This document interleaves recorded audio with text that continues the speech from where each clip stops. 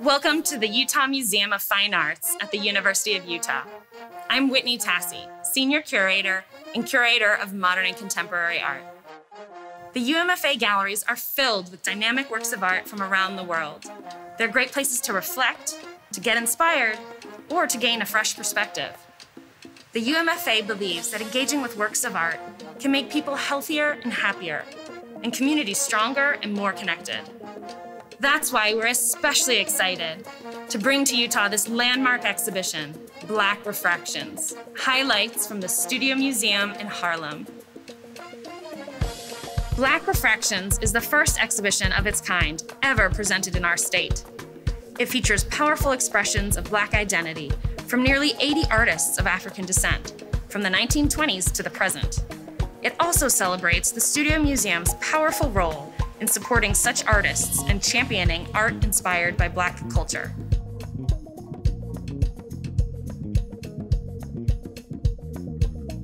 The Studio Museum opened in 1968 in Harlem, the center of New York City's Black cultural life. It was a tumultuous year. African American artists engage more deeply in social activism themselves, drawing attention to widespread discriminatory practices in the American art world. Amid this upheaval, a group of artists, activists, and philanthropists committed to highlighting the work of Black artists. They established the Studio Museum in Harlem to embrace the role of artists in education and community. Black Refractions explores a century of Black artistic production in a variety of media, including painting, sculpture, photography, video, and installation.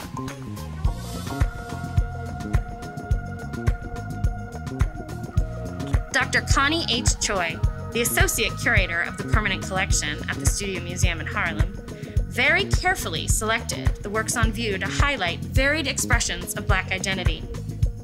These works reflect, document, or critique Black life and the ways in which Black lives are perceived.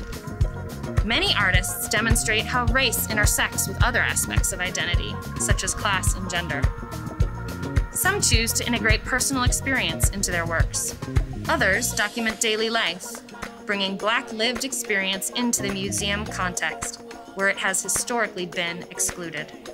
Certain artists challenge stereotypical notions of Blackness, while others show aspirational ideas of what the Black experience can be. Meligha Garfield, director of the University of Utah's Black Cultural Center, is one of several local Black creatives, leaders, and professionals who share their personal perspectives in audio commentaries you'll find throughout the exhibition.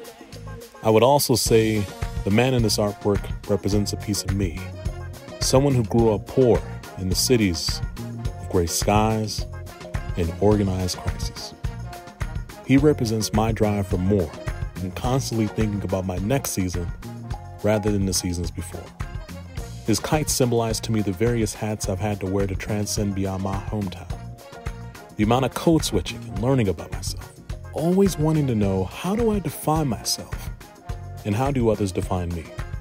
And here's Ruth Gooden, a UMFA docent, talking about a painting that resonated with her. I love the mystery of this painting. At first glance, it seems to be a light-hearted drawing of a relaxed figure perhaps dressed for a party, or simply to make a fashion statement. A deeper look into the painting, and I become curious. The facial expression of the portrait does not seem to match the brilliant background colors. I want to reach out and touch the young musician's shoulder to comfort him.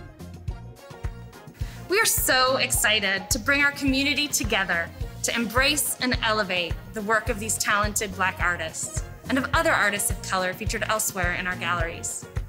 Whether you visit in person or participate virtually in a program or activity online, don't miss this wonderful opportunity to join us in celebrating the profound cultural contributions of artists of African descent.